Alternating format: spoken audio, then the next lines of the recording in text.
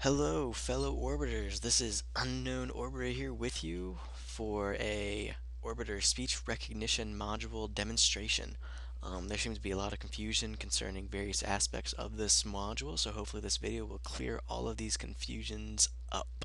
So let's just jump right on the horse here and start out with the press function because this apparently is one that is not included in the manual and it's very useful. Um, the way it works is you say the word press and then you say a key or a string of keys. And you could say press C or press 4 or press F8 or press space. All those keys work. And I'll give you a little demonstration. Press C A P E space C A N A V E R A L. Boom, just like that. And there you have it. And very useful for doing stuff such as um, inputting targets. So, you see that's very useful. And um, hopefully you guys find it useful also. Another reason to use it is because you can change view screens. So I could say, press F8. And just like that, you see it has changed my virtual cockpit. Very useful, so you don't have to touch your keyboard anymore, which is, you know, what this is all about, am I right? Alright, um, so let's get into the MFDs. The MFDs seem to be a point of confusion for a lot of people because of the sort of, um, string of commands that you have to, you know, travel through. But, um, I'll break it down for you. You have to say MFD1 to select the left MFD, or you can say MFD2 to select the right MFD. Um, once you say a certain MFD, every command after that will be acted upon onto that specific MFD. So if I say MFD1, um, MFD select, it'll do MFD select on the left MFD. So, and same goes to the right MFD for MFD2. I'll give you an example. MFD2, MFD select, orbit MFD. And see, just like that. And um, you can switch MFDs. MFD2, MFD select.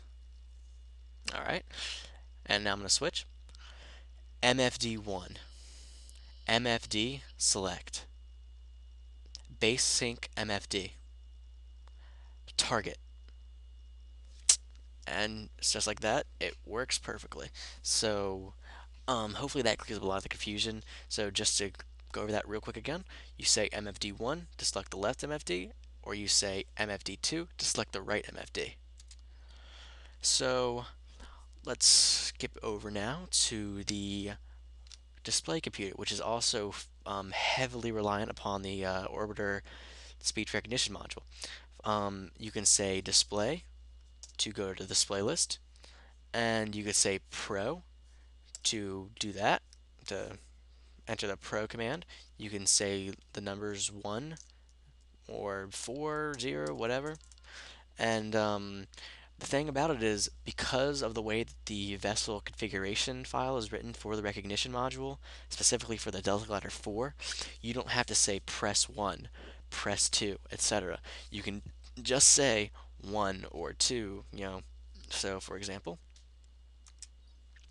pro 1, 0, 4, spec 4, 0, uh, 4, uh -oh, 4, 0, what the hell? Huh. Pro. Pro. Oh, it seems that my video uh, capturing software was getting in the way. All right, well, you get the point. You can just say Pro 1, 0, 4, spec 4, 0. And then say enter and then you can say execute, but I won't say that because then I would go into reentry autopilot, and that's not the best idea to do when you're docked to a space station now, is it?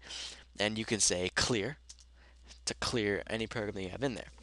Now, um, uh, let's see here. Um, control surfaces. I can say undock. and just like that, I am undocked. Um, I can say nose cone. And just like that, we got nose cone. And I can um, say gear to release the gear.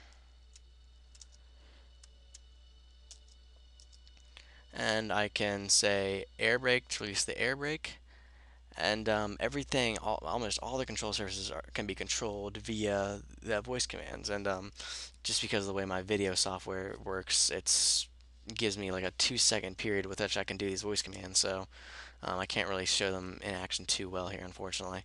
But um, um, the feedback, the uh, reaction time of the module is very, very good when you don't have a video software running. Um, also, the autopilots work as well. Um, I can do AP prograde, AP retrograde, all that fun stuff. AP prograde, just like that, kicks into gear. I can say AP normal, switches there. Kill rotation, sorry, kill rotation, and just like that, kills the rotation.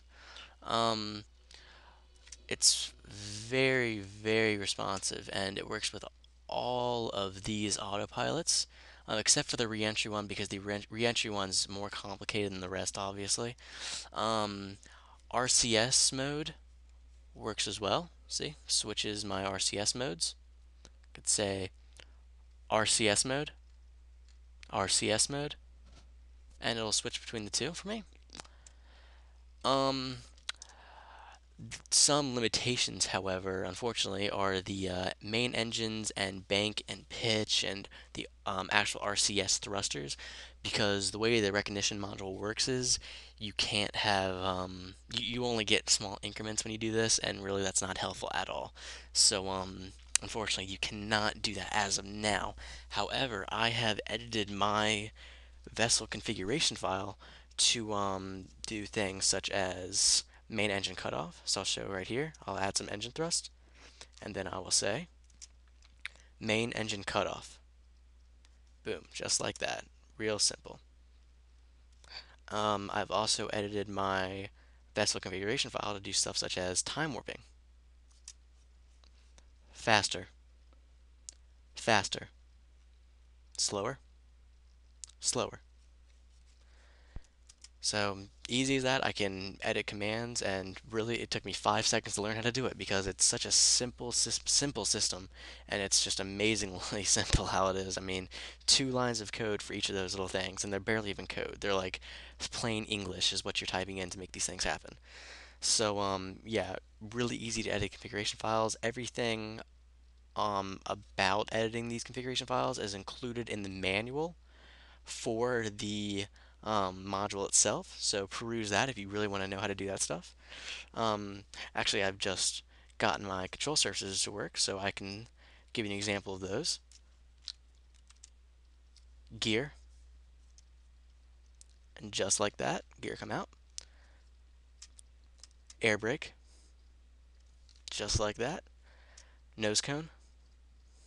Just like that. Um, it's just really, really responsive, and I love that about this module. I mean, if I've got to throw in some personal commentary, it's just amazing. And um, hopefully this video has proven to be very helpful to uh, most people who have been having issues. If you have any more questions, comments, concerns, you can PM me in the Orbiter forum, or you can post directly into the uh, uh, Orbiter speech recognition module thread. Um, I hope this has been a help to you, and this is Unknown Orbiter signing off. Thank you very much.